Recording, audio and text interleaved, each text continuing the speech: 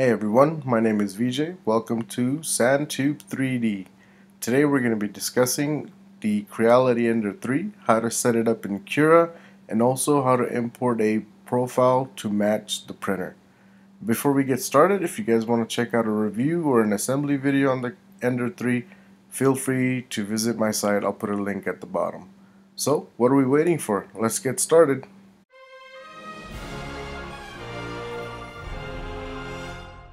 So the very first thing you want to do, of course, is to open up Google. And once you do that, just go ahead and type in here Cura download. And once you do that, it's the first result that you're going to get. Once you click on that, it's going to take you to the Ultimaker Cura page. Now, you notice I have a Mac, so it tells me that's the version, but you want to click on View All Versions. And that will bring you to this screen. If you have Windows, these are the versions for you. I'm using Mac, so that's the one I'm going to be clicking on right there. And this is the latest version. And once you do that, you're just going to go ahead and quickly fill out all these options here because that is required. They just want to know what you're going to be using it for and what is it for educational purposes or whatnot. So once you fill all these out, you'll notice that your download started. And once your download is done, it's going to go ahead and just open everything up. For Apple, go ahead and move the Cura file into the apps folder and then it'll load again. Hit OK at that screen and then there you go, 3.41. So once Cura loads up, this is the screen that you're going to be greeted with because for those of you that are doing a brand new install, you don't have a printer set up yet, so the Cura is going to prompt you to do so.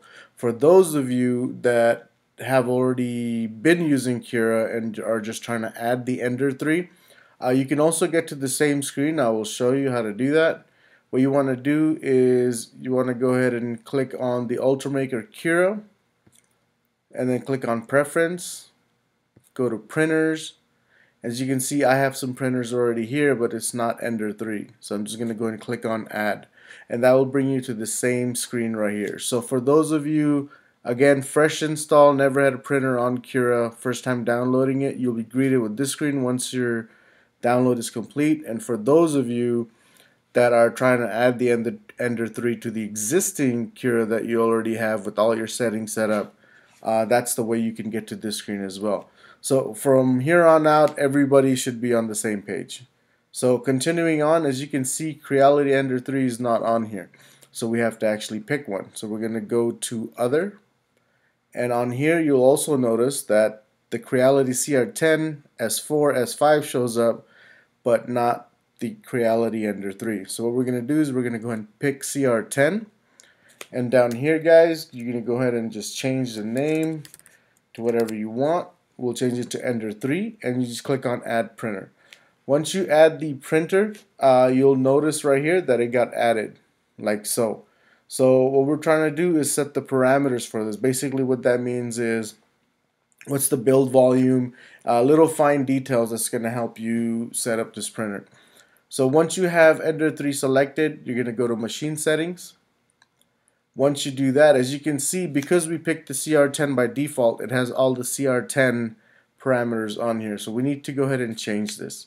So for X, we need to change it to 220. And as far as your Y print surface, 220. And then as far as your Z, which is your height, we're going to go with 250. Okay. Once you have these three entered here, we're going to go on to the next part, which would be right here. Make sure it's heated bed. Check it off, which it already should be. and then you have Marlin down here, and then you start code, uh, start G code and end G code. Go ahead and leave those the same. I've been printing with those, and I haven't had any issues with it whatsoever. Uh, the min and max, if you like, you can change it. Some people do, but I left it the way it is. Now, one quick advice, guys. Uh, see right here where it says origin at center. If you check this off and you go to auto home and when you print your prints, it's going to start printing at the top front left corner. Okay, so what, what you're doing right here is the CR10 center is not in the middle of the plate. It's at the left hand side towards the front. So make sure this is checked off. Okay, so if you guys run into that problem, where it starts printing on the left side towards the front, it's most likely 99% you have this checked off. So make sure you don't have that checked off. Okay, and next thing we're going to do is go to the extruder tab right here. Uh, make sure your nozzle size is 0.4 and the um, material diameter is 1.75 because that's what most PLA filaments are and that's what we all use. So now you have the Ender 3 all set up and you're ready to rock and roll. So to select this, what you want to do is, let's just say if it's not selected, you can click up here in Cura and select which printer you want and each printer will have his own parameters as far as printing. So if you notice the square here, right now it's on Ender 3. If I switch it to Creality, it gets bigger. So that uh, that's your build surface right there and that's based on the parameters we just set. Okay, so we got Cura installed. We've set up the Creality Ender 3. So let's go ahead and import a profile. Now this profile works best for me guys, so I'm going to show you what those are and where to get it from. So let's get started with that part. And it'll bring you to this page, which is Santubes 3D Printing Group. This is actually my Facebook group right here, guys. Uh, we have roughly around 1,700 members. Uh, this is a great great forum for any type of printer, guys. So if you're looking to join a group, go ahead and do so by joining this one. Uh, the only conditions we have is that there is no negative talk. There's no such thing as a stupid question and no advertising. Besides that, uh, this page was strictly meant to just help people out and the ones that are the negative Nancy's, they get kicked off right away. But besides that, uh, that's uh, the group right here that you can actually join. I highly recommend you do so. But to get the actual profile we're talking about, you'll see a file section on the left hand side right here. Go ahead and click on that. And once you click on that, you'll notice right here, say SAN 2.2 Cura Profile version 2. And it was uploaded in June 5th of this year. So you're going to click here and you're to download this. And once you download this, um, we're to import that into Cura. But before we do that, I know some of you guys like to actually have a visual. So if you notice right here, one of the people in the group actually typed up everything in there. I know it says 3.3, but you can actually use this for the 3.4 version as well. And everything that you need to select and take away all the BS that doesn't be need to be there in Cura and just set the parameters right there. So everything uh, is in PDF form as well, which I'll show you later on down the line. So once you download those two, let's go and go back to Cura and set everything up. So you'll notice I opened up the PDF here right next to Cura guys so you guys can get a better view and this way you can actually see the values. Now if you notice some of the settings on here um, on the PDF version which is my profile it's not on Cura or Cura has extra features on there uh, that you don't see on my profile. So I'm going to show you how to select and deselect these things so you can have the exact same setup as I do in my profile here. So to select and deselect these settings, what you want to do is if you notice under quality, shell, infill, uh, you'll see a little gyro or like a wheel. Once you go ahead and click on that wheel, it'll bring up this page right here, which is the settings visibility basically you can choose and pick what you want and what you don't want. So for example, under quantity or sorry, quality, you'll see layer height, initial layer height, line width. But wall line width is something I don't have uh, selected, so I'm going to deselect that.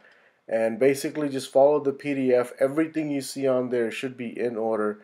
Uh, go ahead and select, and anything that's not on the PDF file that you see on the right, go ahead and deselect. Okay, and once you go ahead and do this, uh, we'll just have to import the profile and we'll be good to go. And for those of you that don't have access to Facebook, I will go over all the features with you as far as what values to enter where. So I'm just to go and speed this up. The PDF is to stay stationary. So at this time, guys, you can go ahead and pause the video and copy all these down. Or actually I don't need to go over it manually because you can actually visually see what settings I have here. So once you select everything I will show you how to import the profile. Alright guys so while you're selecting and deselecting all the features or the, or the values Um, you can, after you, this part is done, you can enter the values in by hand by following the PDF on the right hand side. But for the, those of you that just want to go and import the profile, I'll show you two ways of doing that. Okay, so once all this is done, the first thing you want to do is go ahead and go to Ultimaker Cura and Preference, and then from there it'll bring you to this screen right here. That's one way of doing it. Another way of doing it is right under Profile on your right hand side. You can click there, Manage Profile, and also take you the same screen. So click on Profiles, which is at the bottom, and once you do that, click on Import. Find the profile where you downloaded it and where you saved it to, and once you do that, it will say successfully imported. Now that we've imported it, we have to just go ahead and select it. You can go on the right hand side right under Profile. From the scroll down menu, you should see SAN 2.2. You can rename this if you want. But once you select that profile, if you have any settings that doesn't match mine, it'll ask you to either disregard it or keep it.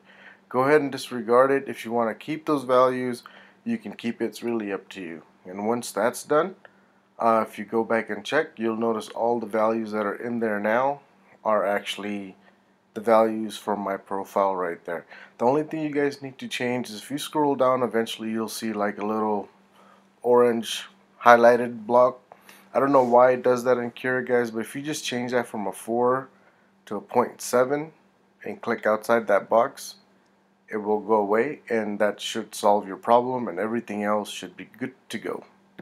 And all the values now should match what's on the PDF. I brought the PDF back up just in case you guys need to take a look at that. Besides that, everything else should be good to go. Um, supports will not show until you click on it. Um, Besides that, all these fields should have the same value as the PDF on the right. So that brings us to the end of our video, guys. How to set up the Creality Ender 3 for Cura, the newest version, 3.41. Also, I showed you guys a profile that works best for me for the Ender 3. I hope it works just as well for you guys. There are a few things that you'll need to change, but that's just minor, such as temperature retraction based on what type of filament things like that that you're using. Well, I hope you guys enjoyed this video, guys. If you have any questions, comments, and concerns, go and leave it down below. You know I get back to every single one of you guys' comments. If you like the video, go ahead and give it a thumbs up. If you don't, then hey, give it a thumbs down. Subscribe to the channel if you want to see more new content.